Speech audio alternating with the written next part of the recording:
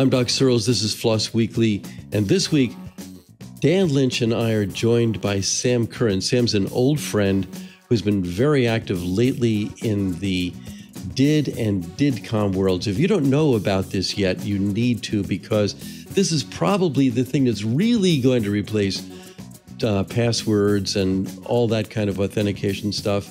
It's a much better way to do identity without having to present an ID all the time of some kind or depend on the giants.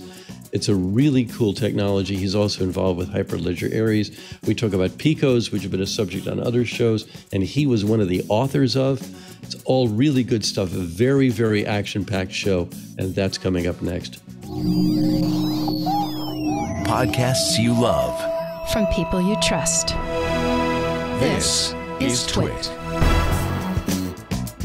This is Floss Weekly episode 685, recorded Wednesday, June 15th, 2022. DIDS and DIDComm. This episode of Floss Weekly is brought to you by Kolide. That's Kolide with a K. Get endpoint management that puts the user first. Visit kolide.com slash floss to learn more and activate a free 14-day trial today no credit card required. And by IT Pro TV. Finally, you can enjoy getting an IT education with IT Pro TV. Visit itpro.tv slash twit for an additional 30% off all consumer subscriptions for the lifetime of your active subscription when you use the code TWIT30 at checkout. And by NetFoundry. Reinvent the network and eliminate the WAN by decoupling security from infrastructure to protect applications and data with open source zero trust. Grab your free swag and free tier now by going to netfoundry.io slash twit. Hello again, everybody, everywhere. I am Doc Searls. This is Floss Weekly, and I am joined this week by the great Dan Lynch. There he is, coming up hey, for Doc. those of you not not visually impaired. And uh, those are and I noted earlier you have two instruments off to your your off your left shoulder. You have a a guitar and a keyboard there.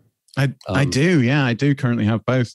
I can play the guitar a lot better than I can play the keyboard, I have to admit. But I'm working on the keyboard. It's it's in process. So, uh, have you been playing since you were a kid?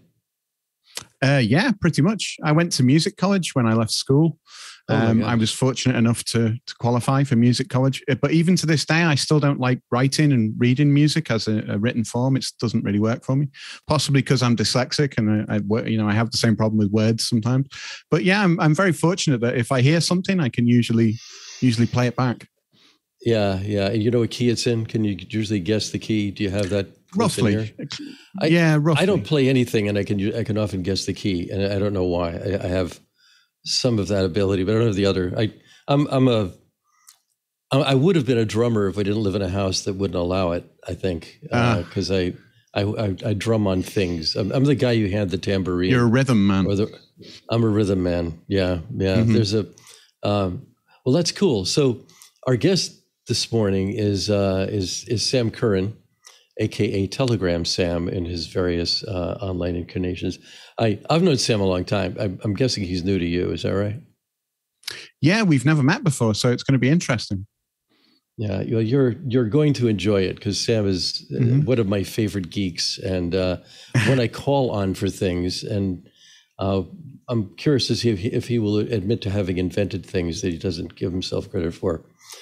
Hmm. But first, I have to let everybody know before we get into the show that this episode of Floss Weekly is brought to you by Kolide. That's Kolide with a K.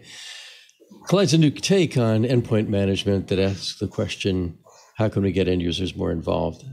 This is in contrast to old school device management tools like MDM, which lock down your employees' devices without considering their needs or even attempting to educate them about the security of their laptop. Kolide is built by like minded security practitioners who, in the past, saw just how much MDM was disrupting their end users, often frustrating them so much that they would throw up their hands and just switch to using their personal laptops without telling anyone. In that scenario, everyone loses. Kolide, on the other hand, is different. Instead of locking down a device, Kolide takes a user focused approach that communicates security recommendations to your employees directly on Slack. After Kolide is set up, device security turns from a black and white state into a dynamic conversation, a conversation that starts with the end users installing the endpoint agent on their own through a guided process that happens right inside their first Slack message. From there, Kolide regularly sends employees recommendations when their device is in an insecure state. This can range from simple problems like the screen lock not being set correctly to hard to solve and nuanced issues like asking people to secure two factor backup codes sitting in their downloads folder properly. And because it's talking directly to employees, Kolide is educating them about the company's policies and how to best keep their devices secure using tangible examples, not theoretical scenarios. Kolide, cross platform endpoint management for Linux, Mac, and Windows devices that puts end users first for teams that Slack get endpoint management. That puts the user first. Visit kolide.com slash floss to learn more and activate a free 14-day trial today. No credit card required. Visit K-O-L-I-D-E dot com slash floss today. And right now, you can get a goodie bag of Kolide swag after signing up for a new trial as their way of saying thank you. Okay, our guest today is uh, is Sam Curren. I've known Sam a long time. I was trying to figure out before the show how long that is. It's been, I think, since he and I both worked separately. Him, he on staff with a startup called Kynetx that was in in in Utah, and um, and Sam was involved in inventing something there. That actually I might want to start out with that. I mean, Sam, you're you're kind of a geek of all purposes from way back, though you're not that old. Are you there? There, I'm looking for his picture up here on screen. There he is. lit, lit, from one side, uh, unlike the, the, those of us who have those USB ring things, like I have, that light us on both sides to make our wrinkles disappear. But you don't have those yet, I, so you're good. I don't have a cool microphone either, so if I if I do more of these, maybe I'll have to step up my game. So, so am, am, I right that we met when you were at Kynetx? Is, uh, yeah was a long time ago. Um, Phil Windley was one of the founders of Kynetx, and he was my grad advisor. And uh, a, long story short, he he roped me into that, and I had a wonderful experience there. That's, so Phil has actually, I think, been on this this show at least once, maybe twice. Uh, he's a PhD computer scientist. Uh, uh, taught and I think still teaches at BYU. So you were an undergrad there at that time. Uh, I was uh, at that time. Uh, I, I, was coming out of my graduate degree, so um, he was mm. my graduate advisor, and then uh, I, towards the tail end of that, I started working for a startup as I was finishing the final paperwork on my on my master's degree. So, so, so I want to I want to go to what became PICOs because we've talked about PICOs a couple times on here. It stands for Persistent Compute Objects, but I think you either invented or, or co-invented those as a way to help the university find the owners of lost bikes.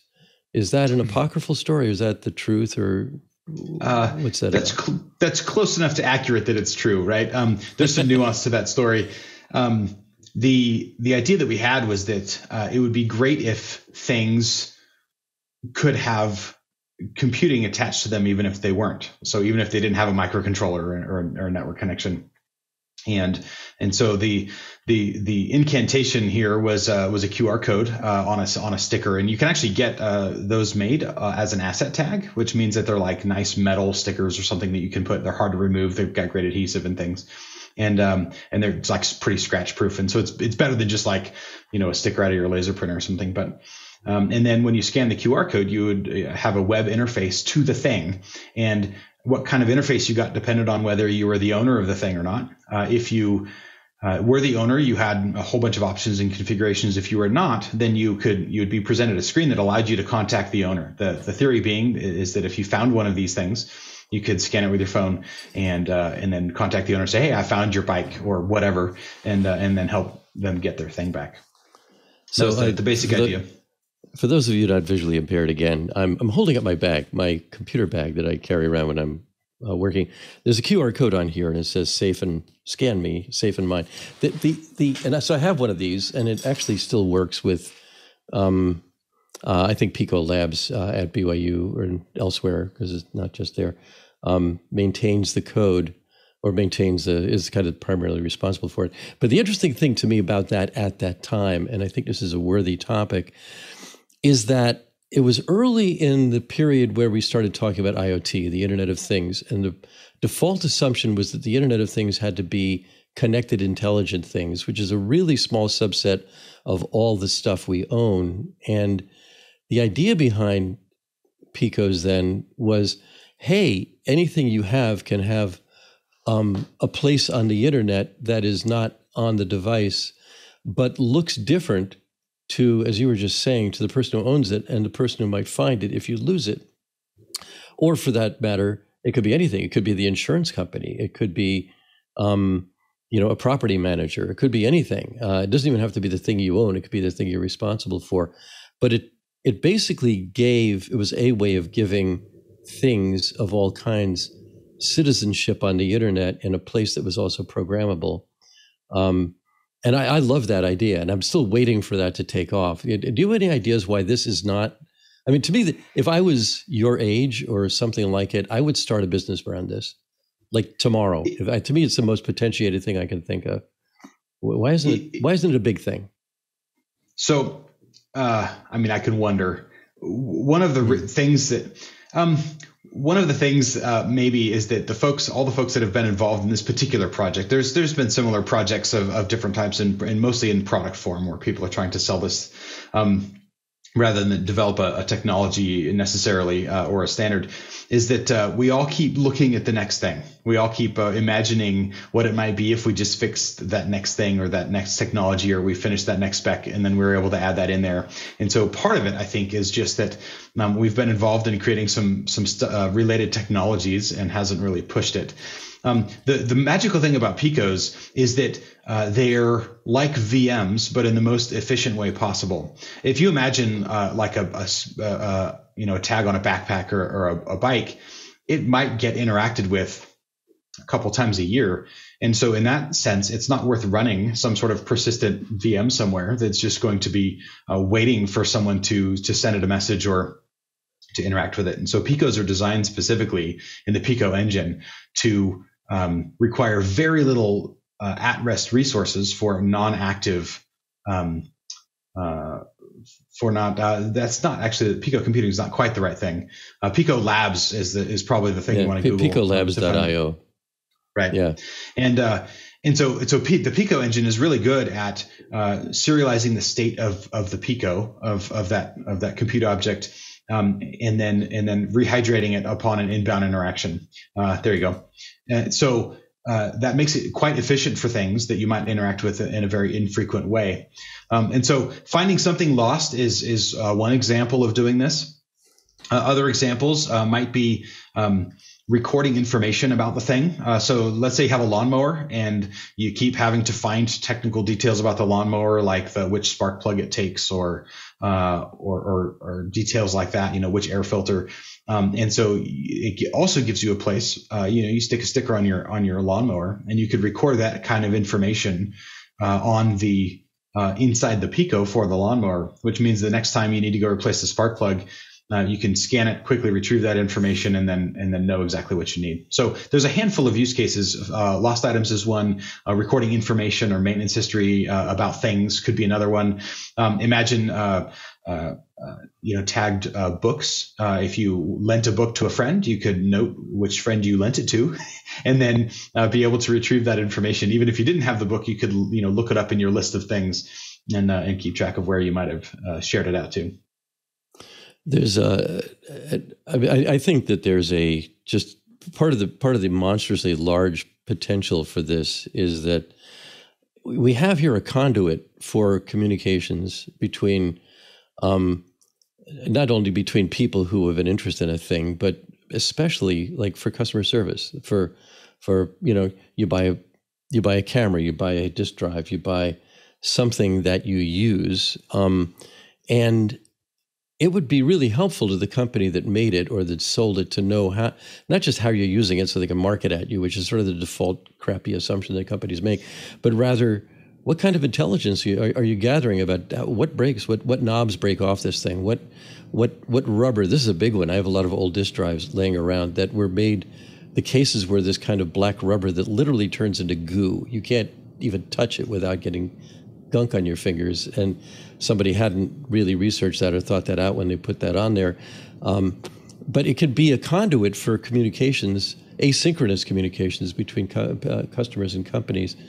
And asynchronous communications really scales well. A, a, guest on here about a year ago, Hadrian Zbarsha, talked about that. That asynchronous messaging, um, it's worked fantastically well with email, which is a simple, a really simple standard.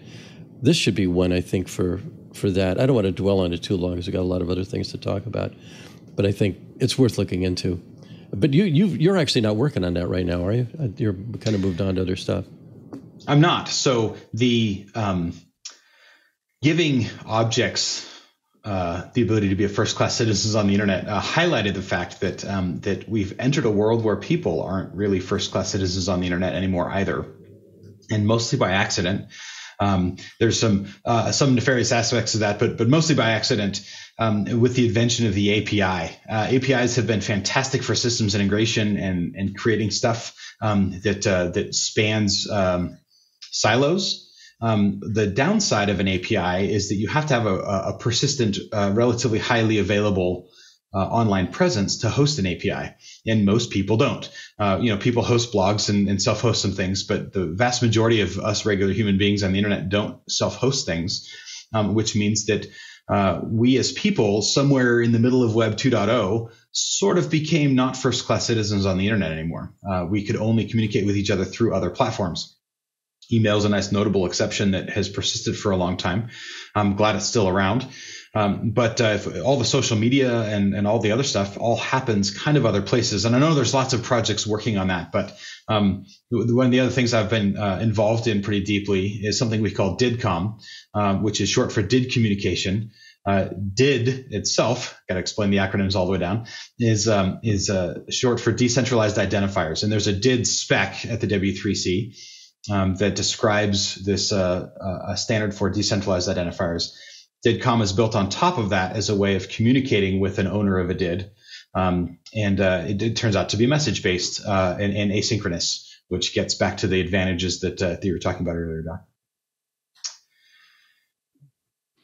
Excellent. So, I mean, that's. Oh, sorry, Sam. Go on. No, that's it. Go ahead.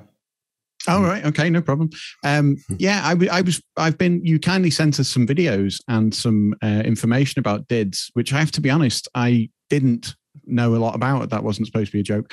Uh, I didn't know a lot about, to be honest. Um, so you've kind of explained it a bit there. But what are the use cases for for DIDs and what made you choose them for DIDComm and all this kind of stuff? I know you work with a lot of other people. Um, Oh, here we go. We're going we're, for the people who are listening. We're we're getting to see some of the video that I watched earlier. Um, so yeah, uh, tell us a bit about DIDComm. It seems to me like it's a kind of underlying secure layer that you can build things on top of. Would that be a fair assumption? That's totally fair. Uh, before we get into DIDComm, it's worth talking about DIDs. Um, one of the problems that we've had on the internet is that the identifiers that we have are all issued by someone that has control over them. And this is mm-hmm. mostly true uh, in the real physical world as well. Uh, but uh, for example, um, even an email address has this problem. Um, unless I self-host my email, I usually, you know, I'm, my email address, for example, is telegramsam at gmail.com. Google, who runs Gmail, could decide that they want to revoke that identifier and take that account away from me, and they can, and I can't really do a lot about it. And um, and so that's a problem. Um, it's particularly a problem for identity all over the place because my identity is tied generally to the platform that it's on. Um, so uh, within Instagram or Twitter or Facebook or something, um, that's how people know me and or could figure out how to get in contact with me. And so DIDS is an attempt to allow for identifiers that don't have some of the same limitations. Um, many DID methods anchor that information to a blockchain. Not all do, but some do. Um, and the nice part about that is that once it's anchored to a chain, that can be found, uh, and and even uh, a whole blockchain itself uh, could be archived. I'm not talking about something like Bitcoin, but like an identity-specific uh, ledger could be archived and still useful, even if the network itself isn't being hosted in a normal form anymore. And so the advantage there is that if I have an identifier that is more persistent and I have control over, um, then uh, then that becomes something to, to build on that's a more solid foundation than something like an email address or some other identifier that's been issued by uh, by some platform. Um, the unfortunate realities of the of the internet technology is that if a company can't figure out a way to make money hosting some platform, it tends to go away. And so, uh, you know, sometimes we have things that we wish lasted a long time that that, that don't because um, you know a business model changes or someone makes a decision that that's not something they're going to support anymore. And so the, the, the, the, technology of a DID is relatively simple. DIDs are a little like IP addresses in the sense that uh, normal people are never supposed to see them. Um, but uh, when you have a DID, uh, it's uniquely identified and you can resolve that to something called a DID document. And the document doesn't contain very much, but what it does contain is, is highly useful. Um, it contains public keys and it also contains service endpoints. And one of those service endpoints can be uh, a DIDComm endpoint and then the, the keys that are present um, can, can be used for both signing and encryption. And so DIDComm uses um, the most common uh, key type used in it is uh, ED25519 keys, um, mm-hmm. which uh, and, and, and then you can actually uh, if if two parties know each other's DIDs, then you can uh, encrypt messages to each other uh, and do useful things on top of it. And you're right that it this is designed as a platform to build interesting things on top of rather than like an end thing all by itself. Yeah, so that that's one of the things I, I, picked up earlier when I was doing a little bit of research on it. I noticed when you go to the DIDComm site, which uh, Ant is currently showing us on the screen, uh, it uh, it lets you search for protocols or get a list if you want, just of protocols that have been built on top of it. So, what's the adoption been like with this? Of, of people, have you had lots of interest in people putting their protocols or making protocols to go on top? It's beginning. A lot of the early focus has been on verifiable credentials. So protocols for issuing or, or presenting a verifiable credential. And that's a, a great use case for it, but certainly not the only use case for it. Um, the um, I this is relatively young as a technology. Uh, uh, so um, the as a bit of a status, uh, DIDComm what we've called DIDComm V1, the, that uh, spec was created in the Hyperledger Aries community. There was enough interest in it um, that we have uh, we started a working group at the Decentralized Identity Foundation to work on version two, and that just like a week and a half ago um, reached a working group approved status. So it's very close to becoming ratified by the by the DIF, and then it's a it's a mm-hmm. it's a mm-hmm. fixed spec to develop too.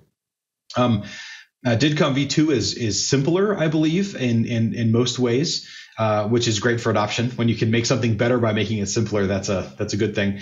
And uh, and there's been a lot of interest in people waiting for that version to be finished before they uh, continue to build on it. So I think that uh, I think we're likely to see an uptick in in that adoption. Um, it's uh, DIDComm v1 is already deployed in production applications, uh, mostly around identity and verifiable credentials. Um, so there's been good adoption, but I I think we've just barely gotten started with the, the types of potential it has. Mm-hmm. One of the differences in DIDComm is that um, a company or a service uh, has a did and a, a DIDComm endpoint, and so does a person. And uh, the messages are it's a message uh, architecture and it's asynchronous uh, by design, which means that if all I have is a smartphone or all I have is a laptop, and neither one of those are necessarily connected all the time or re- able to receive messages.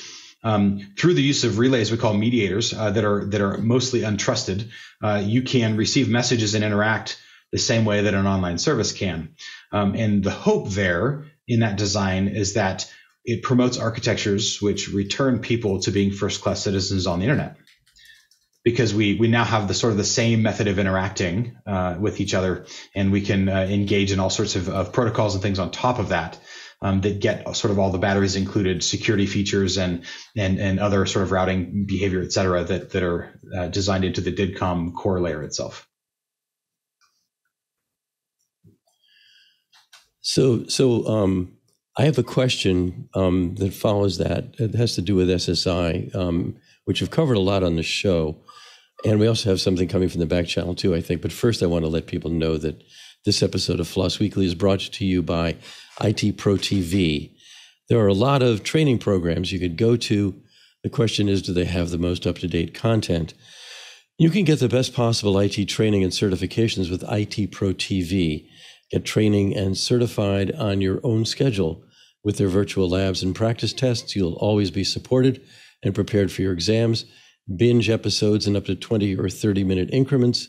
They have over 5,800 hours of IT training that is always up to date with the most current content, which is important in this fast paced world. One reviewer says, Most engaging hosts I've ever watched. I highly recommend IT Pro TV to not only IT professionals, but also to people who have interest in IT but don't know where to start. Very educational and entertaining. Check out one of their newest courses, CompTIA A Plus Core 1 and Core 2 series, designed for professionals who support today's core technologies from security to networking to virtualization. CompTIA's A Plus certification is an industry standard for launching IT careers in today's digital world. Learn about hardware, operating systems, networking, security, and troubleshooting. IT Pro TV will have two free live webinars this month for you to check out. All things cybersecurity is one, hacking your way into the field with Daniel Lowrie and Zach Hill Thursday, June 16th at 2 p.m. That's Eastern Time. The Future of Project Management is the second one with Chris Ward and Kelly Mack, Thursday, June 23rd at 2 p.m. Eastern Time.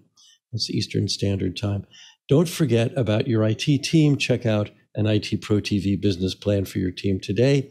Visit itpro.tv slash twit for an additional 30% off all consumer subscriptions for the lifetime of your active subscription when you use code TWIT 30. That's itpro.tv slash twit and use the code TWIT30 for an additional 30% off for the lifetime of your active subscription.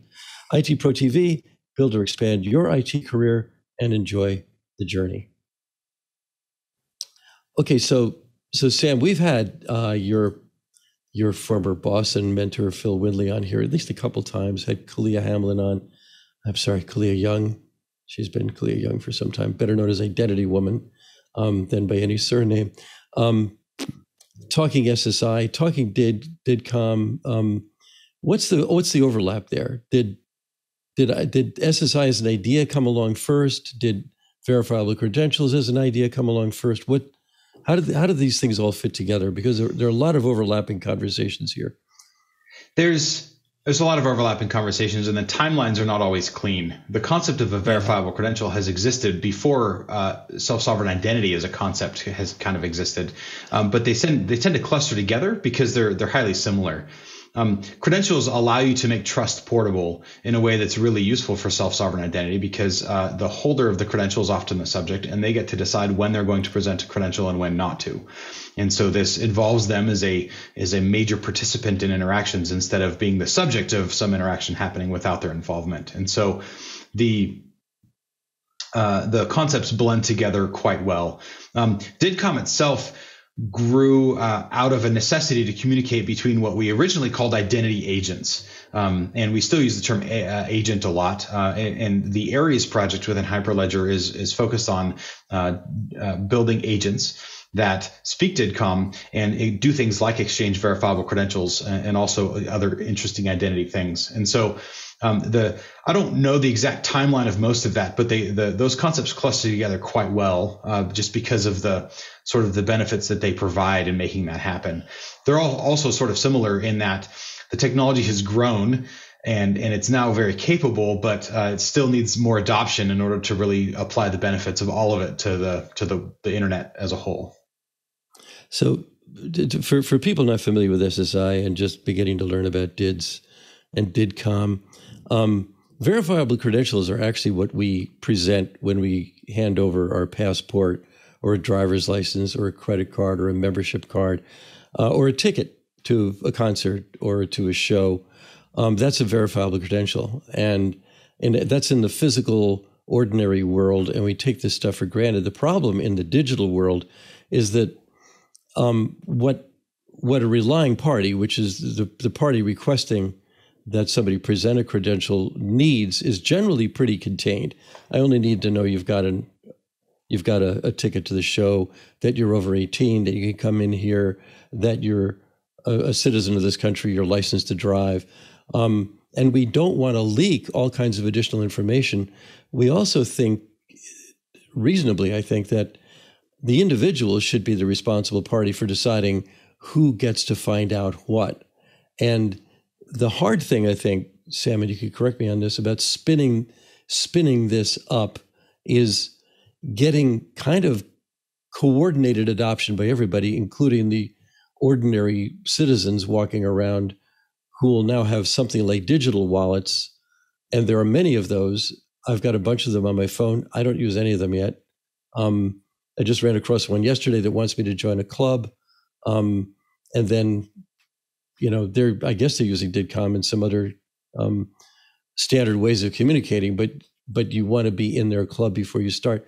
I and it, it seems to me that this is the kind of thing that either it is an app on your phone or it's something that with near field or some other method we just whap on somebody when they want to know you know are you are you, do you have a ticket to the show? You don't even need to present anything. You just go in because you're wearing something that lets you in or you're um, your TSA pre, let's say, you you just get in the line. You know, somebody doesn't have to check it by looking at something. So that is a kind of verifiable credential. I mean, there's all kinds of each of these things are generally called in the in the business a ceremony, but we're trying to change everybody's ceremony all at once.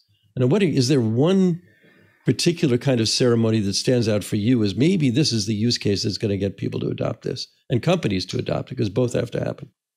So there's a couple. Um, we've seen. Um, I, I, work for a company called Indicio, and they do uh, uh, consulting services uh, along this vein for for lots of folks. And the uh, one of the main areas of adoption that we've seen is with travel. Um, this was starting to happen before COVID. COVID became a focus for a while, and now it's sort of back to the previous goals um, of of reducing friction in the in the travel industry.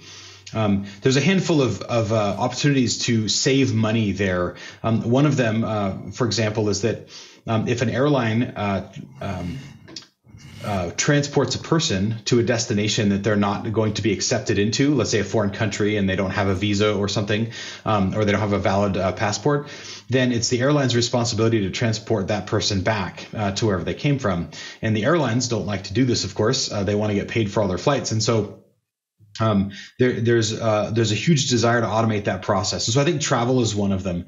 the other thing uh, is going to be a little awkward to mention, and I'll explain why.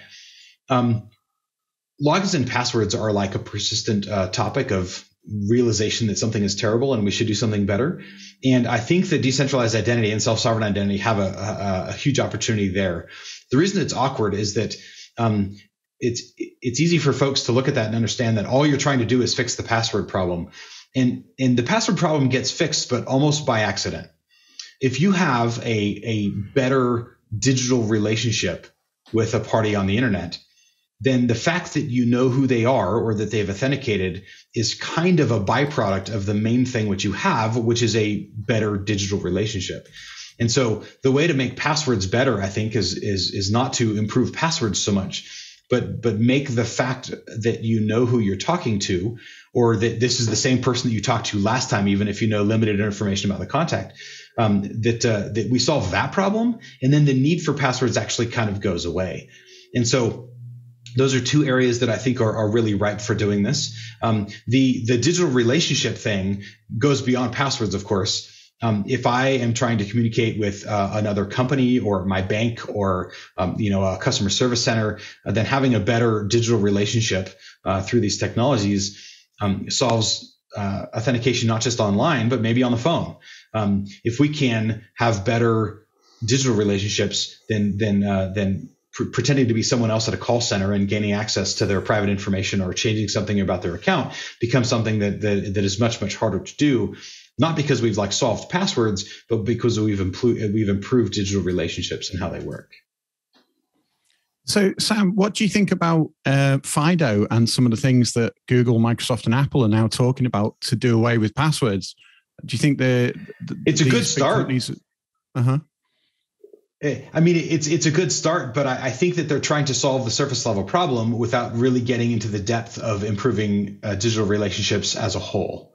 So I applaud their efforts. I think they're going to be really useful. And this is not a scenario where decentralized identity and, and, self-sovereign identity are going to like suddenly take over the world. It's going to get adopted alongside a lot of these other technologies. And so I think that that FIDO is fantastic for that, um, but that they're not quite going deep enough. And I think that we can do better with with better digital relationships. Yeah, makes t- makes total sense. And we have a couple of uh, our chat room is buzzing away today as always, and we have a couple of questions for you, which people have been waiting for us to get to. So apologies to the people who've been waiting, but I'll actually ask you them both together because I think they're kind of related, pretty much, to be honest. So Jojo Dancer uh, asks us when we were talking about DIDs, this was um, who issues the DIDs? Is it permanent for a user? Can they take it away from us? Should we buy one? Which is interesting. And Gumby, who says, uh, "I'm late to the party, but what is the process for dead DIDs, i.e." what happens when you want to revoke one or abandon it? Um, so let me start with dead dids. Um, mm-hmm. You, if you want to stop using an identifier, you just can. You just use other identifiers in their place. Um, and I'll, in a second, I'll talk about why that's not as inefficient as it sounds. Um, the um, getting a did is a is a process not of getting someone to give you one, but rather of registering a did. Practically speaking, because humans are bad at doing cryptography in our heads, we have to use software to do this. And so you're going to uh, use an app, for example, that will uh, that will help you get dids. And I say dids on purpose, not just one, um, because there's a, a, huge number of, of um, useful cases where you want to have hundreds or thousands of these things um, so that you can avoid correlation um, with different folks that you're talking to. If I talk with one friend, I can use uh, one did, a different friend gets a different one. And, and now uh, there's some additional security advantages of doing so um, and privacy advantages uh, of, of having different ones. Um, you're not going to have to think about this. Uh, software is going to help you do this. If you have software that can speak uh, DIDComm and use DIDs, et cetera, then it can help you uh, create DIDs uh, even on the fly and automatically d- during its operation. Um, one of the DID methods that's my favorite is actually called a peer DID. And uh, the peer DIDs are designed to work the same way that normal DIDs do, only rather than registering your DID or, or having it recorded on the ledger, then you just pass it to the other party that you're actually directly interacting with. And the, the advantage there is that it's very cheap because the, the, the fastest and the cheapest ledger write is no ledger write. Um, and mm-hmm. and now all the other parties that need that did actually have that information from you. And so um, when you stop using a peer did, uh, then like it just vanishes and and there's very little overhead that was there in the first place. And so there's not really a cost to abandoning it. Most organizations or um, or, or uh, or businesses, et cetera, will probably want a ledger recorded did for there's a handful of advantages in those cases, and they don't have the same privacy needs that individuals do. So, mm-hmm. um, so you get one by uh, by generating a private key that only you know, and um, you're doing this with software, of course and then you get the DID registered on a ledger. And, and each DID method has its own method of doing so. Some are anchored to Bitcoin, some directly, some are, are anchored via something called a Sidetree, uh, which is a popular technology. It may be written directly to a ledger, um, not for people, but for organizations uh, like Hyperledger Indy, which is an identity focused ledger specifically for that. So um, you get one by using software that helps you use them, is, is the short answer.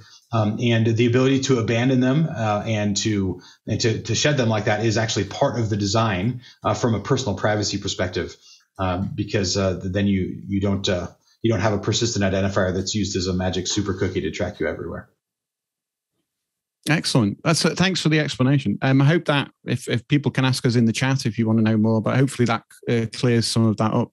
It seems to me a lot of this is um, it feels a lot to me like um, the way we used to do things with encrypted email and so on, where we, you know, we, would have key signing parties and we'd have a web of trust and all that kind of stuff, and where you'd have um, you'd have your private key and your public key, and you would, you know, it, the web of trust would expand as different people verified who was who.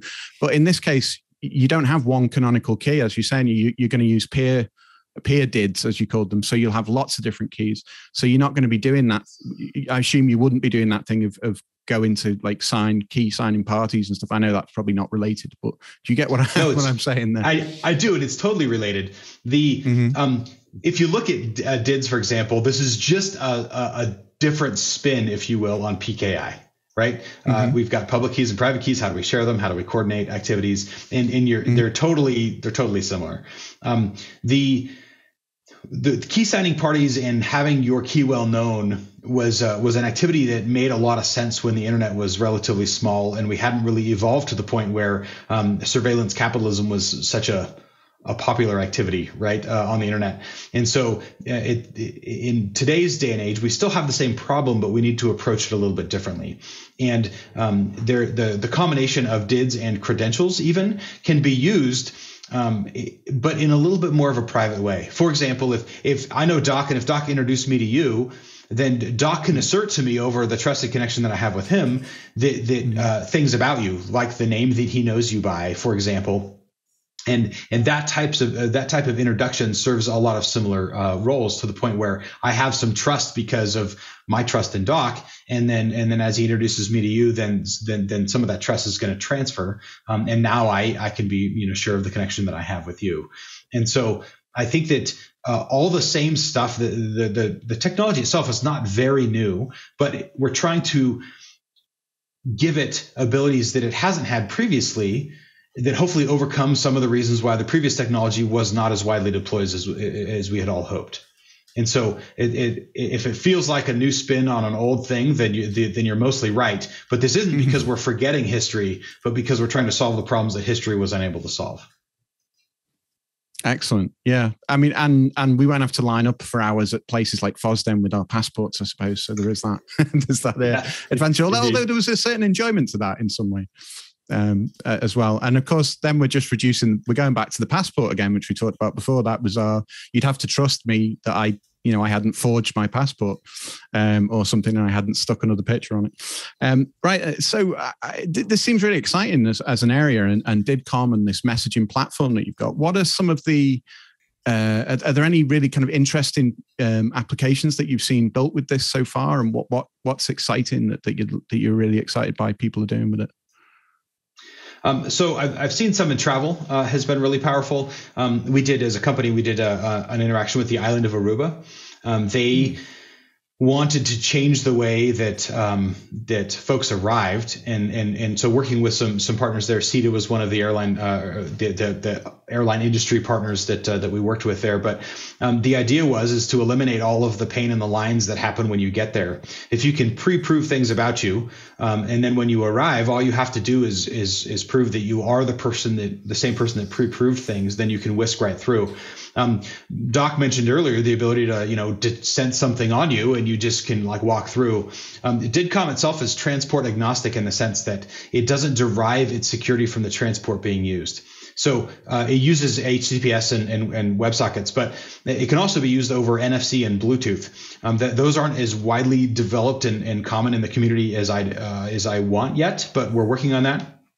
And the idea here is is that um, I might be approaching some um, some uh, you know a, a, security thing, you know, uh, customs in a country or or something, border control, and mm-hmm. uh, if I've got my phone on me and I've authorized it to do so, it can detect the presence, uh, uh, the the BLE endpoint, uh, Bluetooth Low Energy endpoint of a of a device there at the at the border checkpoint.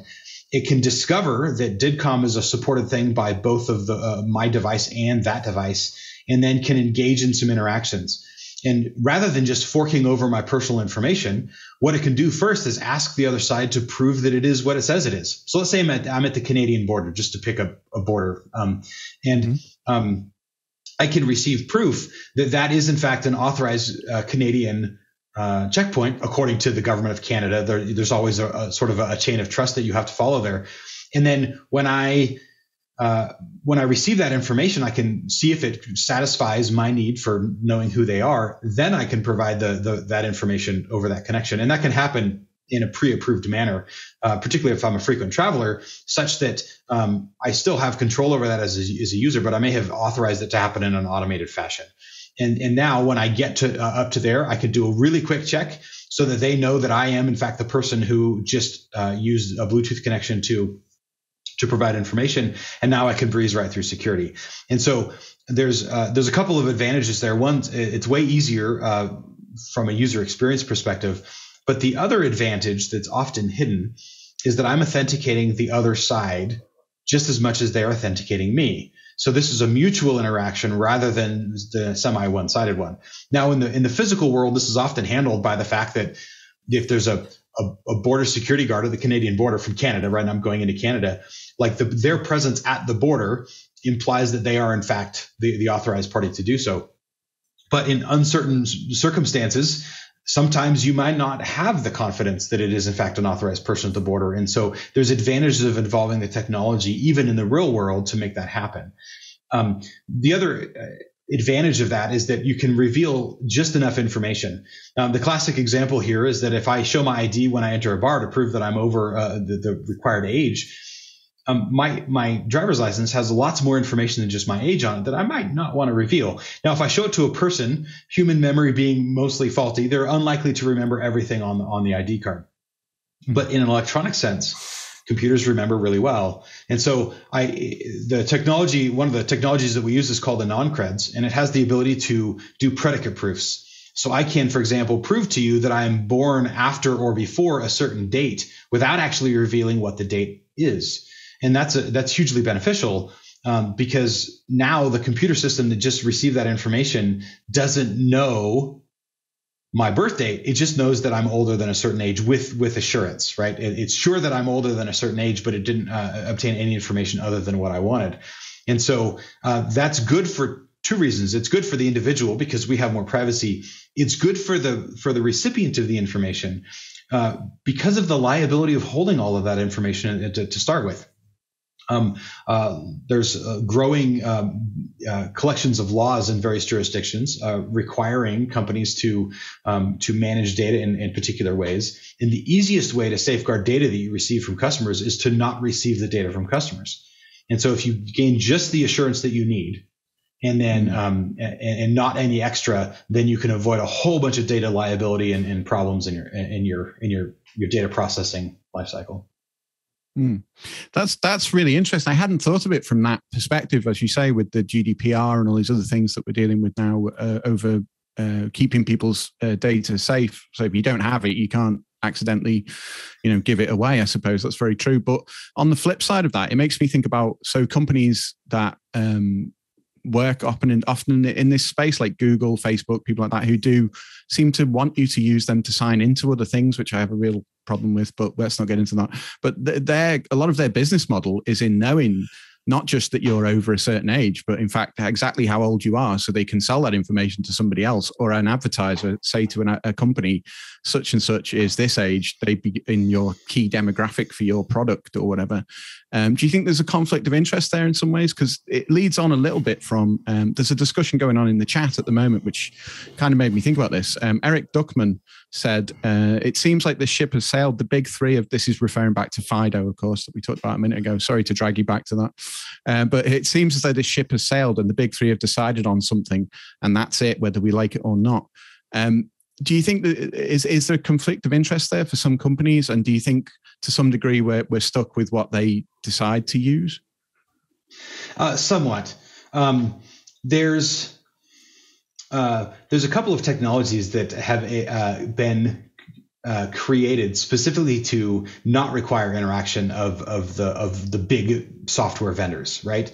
Um, and so mm-hmm. I look at OpenID as one.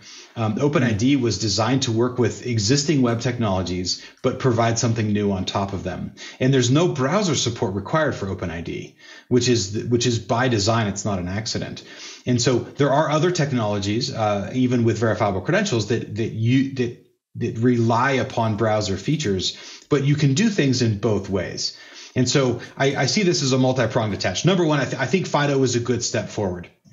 Um, the fact that it's actually standards based is is a benefit. Um, sometimes Apple has the habit of inventing things and then kind of not sharing them, and I'm glad in this case it's actually uh, Fido is being used. Um, it's also a recognition that, that, things change and improve over time. Um, I think that uh, Fido is a nice step forward. Um, I think that uh, the, the stuff we've been talking about, you know, decentralized identity and, and SSI and DIDComm and, and better digital relationships is another step forward beyond that, and that can be adopted either with their involvement or without their involvement. Um, mm-hmm. Now, what mobile apps support and what they don't support is a constant piece of discussion uh, around how we sort of work with those things. Um, in particular, there's some things that it would be um, really nice uh, if Apple supported that they don't, and I'm talking about like uh, deep linking in, in a way that's that's generic to apps. Um, there, right now, um, uh, the iOS linking to an application works if you host a website and an associated app, but it doesn't work very well if you have a brand new protocol that you're trying to allow any app to pick up. For example, that's a change that we would love them to make that they haven't yet. Um, but uh, but more or less we're we're figuring our way through that. And so we're going to this technology will be rolling out even without their direct involvement. I suspect at some point if we're successful and i, I hope we are then they will need to adopt and and add official support for some of this at some point. Um, but uh, but we're not uh, we're not waiting for that day. We're still making uh, progress and doing some really interesting things um, independent of their direct support. So part of it yeah they've adopted fido but we don't have to wait. We, we can we mm-hmm. can do cool stuff now. Mm-hmm. Well, I just learned a whole bunch of stuff about Fido I didn't know, and that's cool. Um, there's uh, but I I, I want to. We have limited time, and I want to get on to your your itinerant life. But first, because it's really interesting stuff. But first, I want to let people know that this episode of Floss Weekly is brought to you by NetFoundry. Networking has traditionally been handled by dedicated teams and personnel. You could say network security has been deemed too important to leave in the hands of developers. One of our sponsors, NetFoundry, believes differently. Secure connectivity is too important to be taken away from developers and has forced dependency and stifled innovation and business velocity or unnecessary trades off security for those benefits. Therefore, NetFoundry created and maintains OpenZiti, that's OpenZiti, providing an open source, free, and easy way for the world to embed zero trust networking into anything. It provides everything you need to spin up a truly private zero trust overlay network in minutes across anything directly in your app on any device or in any cloud, built on principles of extensibility, flexibility, and scalability. Attacks from insecure networks can become a thing of the past external network attacks, including DDoS attacks, brute force, credential stuffing, CVE or zero day exploits, BGP hijacks, phishing, and more can be stopped. This is truly zero trust of all networks. No need for expensive and risky reactive patching. Agnostic design patterns ensure you only need commodity internet with outbound ports without needing networking engineering skills to implement it say goodbye to complex firewall rules, inbound ports, public DNS, static network access controls, and VPNs. Spring 4 shell, that's Spring number 4 shell in Windows, RPC, RCE are recent exploits, CVEs. The recommendation is to cloud inbound ports, but OpenZiti allows you to have no inbound ports at all. OpenZiti was mentioned in Java Magazine about how they zitified the Spring Boot for any Java app. Moral to the story those who make themselves dark cannot be exploited by Spring Force shell or other network attacks. Eliminate the tug of war between developers and security. The former can work programmatically with software, while the latter have isolated apps driven by policy, visibility, and logs they require. Zero trust is a journey, so start wherever you need based on your priorities. OpenZiti offers numerous SDKs tunneling apps for popular OSs, and edge routers in cloud marketplaces. If you don't want to host OpenZiti, use the NetFoundry SaaS, including free forever tiers for up to 10 endpoints. Head to netfoundry.io slash twit to grab some free swag, learn more, and get started. That's netfoundry.io slash twit and get your free swag and free tier now. Okay, so Sam, you've spent a lot of your, at least your adult life, as far as I know, on the road. I know from having tried to get a hold of you at different times, it's been, you know, I may not be where there's connectivity. I'm out in my RV. I think you have a wind, a Windstream, right? You tow, you or at least you tow to so an airstream, an airstream around, trailer, right? yeah, an airstream we trailer, and you've got, and you've got a wife and how many kids? Three, three kids, four, three kids. And you homeschooled them as well, is that right? Do I have that right? Oh, uh, yes, particularly at the time. We we're, now we're doing a balance of homeschool and, and regular enrollment, but uh, yeah. So, okay, so tell me. Well, you can tell me about that life anyway, but how that works with geekery and and keeping up with GitHub and all the communication required, you know, on on the road. And how's that? How, how did that go, and how does that go for you? Even so, so? it um so it, it's a little different now, and I can I can explain. But uh, this was about between 2013 and 2017. um, we started with a, a house swap, um, and we went to Virginia, and the people that lived in Virginia came to live in our house at the, at the time that was in Utah, and uh, and we did that um, for six months and had a great time. And then in the middle of that, uh, decided that um, that traveling full time would be something that that we think would be good for our family, and so we we bought an Airstream trailer uh, and a and a truck. We had driven a minivan loaded to the gills out to, to Virginia with you know bikes and everything on it. And at the time, our kids were um, our three kids were aged between three and eight, um, so relatively young. and um, we uh, we went, uh, we we traveled uh, full time um, for about the next four and a half or five years. Um, and what that meant was is that uh, maybe once or twice a week we would move to someplace else. We would uh, we spent a lot of time in state national parks and, and visiting other places like that. Um, and we'd be someplace for a couple days and explore, integrate that into our, our homeschooling or road schooling, we called it uh, during travel and then uh, and then we would move to another place. And so our average um, trip, uh, our average move distance per time we moved is only about 100 miles. Um, when you think about it, 100 miles from wherever you are right now is someplace pretty different. And so we uh, we traveled over all over the United States. Um, uh, over the years that we were doing that, um, we ended up um, for four months in Hawaii. We didn't take the Airstream, of course, there. Um, and so uh, I had an, an, opportunity to teach an adjunct class at a university there. And, and uh, so we went and did that for four months um, and a variety of other uh, of other things along the along the way. Um, the interesting part is that back in 2013, uh, so Starlink is the new hotness, and they actually have an RV um, uh, plan that that is is fantastic because it gets you connections in places where uh, cell networks don't. Um, back in, in 2013, you're a lot more limited. Uh, we still had good cell networks for reasonable reasonable prices, but um, it, uh, it was still a little bit of a challenge. And sometimes we'd want to be someplace that we didn't have cell signal, so we had to plan ahead for that. Um, at the time, I was doing mostly software development work, and so I only had about uh, one or two meetings a week with with my team or with clients. And that worked really well for a traveling uh, lifestyle. I would uh, get up early and, and get a lot of work done uh, before the day happened, and then as the, as the kids were schooling, and then usually by mid afternoon or so, we could um, uh, we could be about exploring and, and doing the things that we wanted to do together as a family. Um, now uh, I have a uh, a lot more calls and, and, coordinated stuff that m- would make that much more difficult. And so we're actually um, we landed. Uh, we started in Utah and ended up selling our house there, and then we landed in Idaho. Um, I live in Driggs, Idaho, which is just over the uh, Wyoming border from Jackson Hole. And so um, we're we're here now. Um, we've been here for the, a couple of years. We bought a condo and we're in the final stages of actually building a house um, that I'm actually sitting in now, um, and uh, and we're we're within a week, hopefully, of, of our final inspections on that particular house that we're that we're building. So we don't travel very much anymore, um, and because our kids are older now, uh, future adventures are likely to look very different than the ones in the past. But but uh, that that time that we spent traveling was uh, wonderful as a family, and actually worked surprisingly well.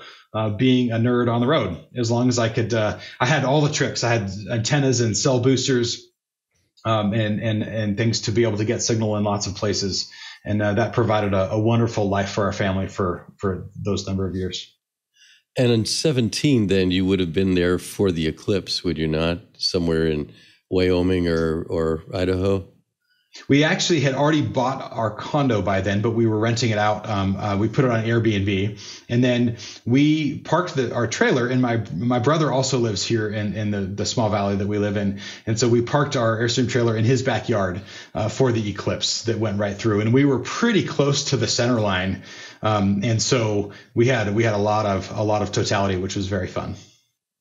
So so um, you get to look at the. Well, actually, I was in in the middle of Wyoming at the same time, so not, not too far as the crow flies, but over the Tetons um, and the Wind Rivers too. I think. Um, so you have a wonderful view of the Tetons at sunset. Then I imagine from where you are. We do. Am I guessing right? And yeah we we really like uh, outdoor stuff. Uh, we mountain bike and we hike and we uh, and we paddle and, and all the things. And so um, there's a lot right here. Um, there, there is of course uh, the Grand Teton National Park and Yellowstone, which has had some unfortunate flooding over the past couple of days. That's really going to foul up uh, folks visiting for about the next year. But um, we um, there's a lot of stuff just within this valley itself um, that we really like uh, enjoying. And so there's there's a lot of mountain bike um, uh, stuff and summer activities in the winter. There's a ski there's a, uh, a, ski hill that's actually in Wyoming, but you can't get to it from Wyoming. You have to get to it from Idaho, um, called Grand Targhee, um, that is here. Um, and then um, they do fat bike trails and, and, and Nordic grooming in the winter, and so we we enjoy all of the seasons as they come. I, I was going to say, I mean, you you live with a scenic climax. I mean, and, not like not like Utah is short on those things, but I think well, the Tetons. and, so, sometimes I mention that uh, we live in a small place, and and it's I'm not sure which is shocking: the fact that the, that the city I live in has one stoplight, or that the entire county has two stoplights. so it's a it, it's a small place. And, and stopping may even be optional if you're in, in, a place like that. Um, well, you so, know it's tourist season because you get to the stoplight and there's cars in front of you. That's what tourist season is. um, so um, we're getting a bit short on time here. Um, I, I, have a question that's unrelated to anything, but I just I'll throw it out there and then and then see if Dan has anyone left in the time we have. But where, where did Telegram Sam come from? Because Telegram Sam is your handle on Twitter and a bunch of other places. It's on on GitHub. Uh, so where did that come from? So I've had people ask me if I'm a huge fan of the Telegram app, uh, and that uh, there's a that's an unfortunate timeline incident, right? I, I, had Telegram Sam as a screen name way before Telegram was a thing. Um, my uh, my dad owned a civil engineering business, and uh, and he um, he uh, employed a, a, a guy named Mike who was a, a fan of obscure bands. And so one of his the bands that he was a uh, he was a fan of is is Bauhaus, and they have a song uh, called Telegram Sam. And uh, it's it's a, it's a, if you Google it up, you can find it. It's a, it's it's some entertaining music. Anyway, uh, he would call me Telegram Sam. I was a, I was a kid at the time. I was I mean, uh, maybe eight or nine, and uh, and he would uh, he would like sing the Telegram Sam you know section of that song uh, when I would visit the office at times. And so when it came time to pick a um, a screen name, uh, you know, as I began getting involved in the internet, uh, then then Telegram Sam was a natural pick. One of the regrets of my life is that I have failed to actually send a telegram with Western Union before Western Union discontinued the telegram service in the United States. So I had Telegram Sam has unfortunately never actually sent a telegram. Oh, that's too bad. I did not even know the telegrams had finally ended though it makes some kind of sense. I was in college when they announced it, and I, I wish they had given me a month warning because I would have sent uh, a likely humorous telegram to my parents from college uh, just so that I could then have the record of doing so. Yeah. So, so we usually end up with um, uh, with some questions. Uh, I mean, just some, some standard questions. The first, if you could answer very briefly, is there anything we haven't asked you that that we should have, or you'd like to answer for? Just well, there's a lot we could things. talk about. Um, yeah, there always is. I, I did, so there was one point that I wish I had made earlier, and if I could insert that now, um, please. The, yeah. People think about uh, if you want to think about DIDComm and what how it applies in a useful way.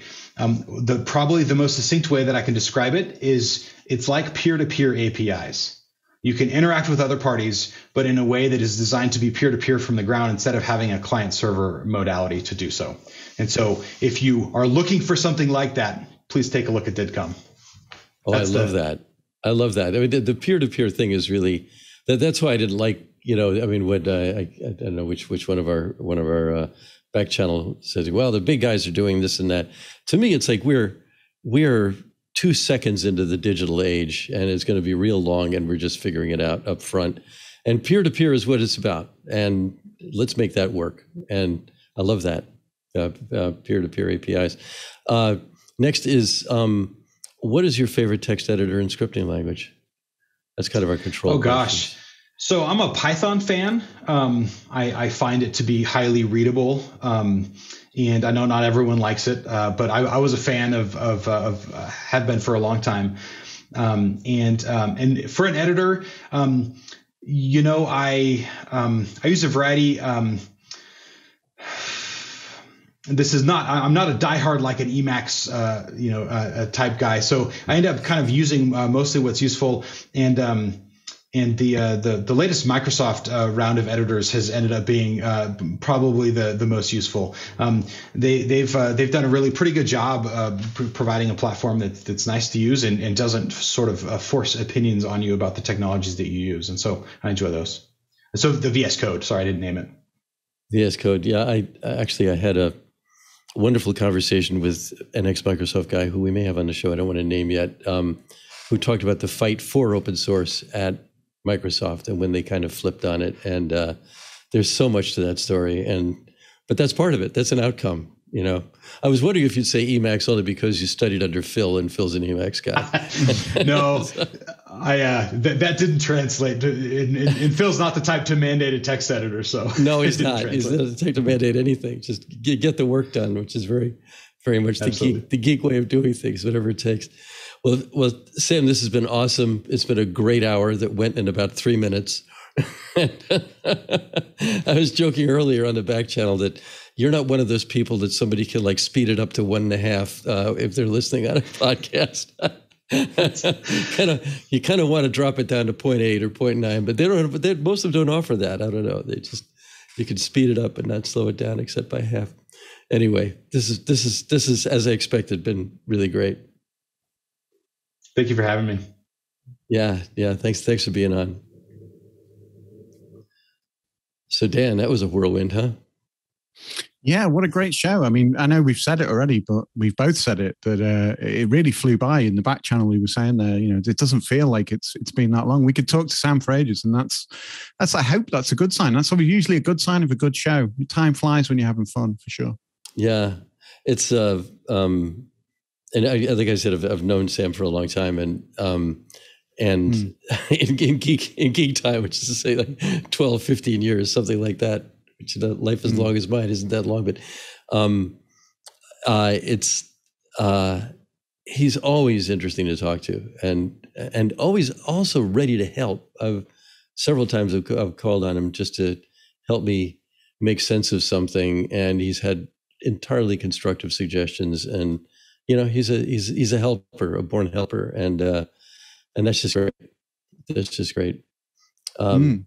I, am being to to do something I almost never do, which is remember next week's guest. Uh, it's it's going to be Dave Huseby, um, uh, and actually, if anybody's interested in Dave, we've uh, Katherine Druckman's going to be my co-host on that one, and she and I have talked to Dave a number of times on Reality 2.0, which is our own little podcast.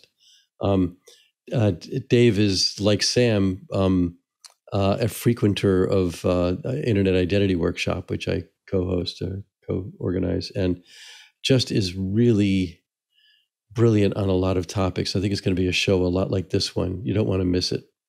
So that is that is coming up next week. So what do you got to plug there, Dan? I I probably should have saved that one um, until the very end, but what the heck? I was looking at my my no, prompt.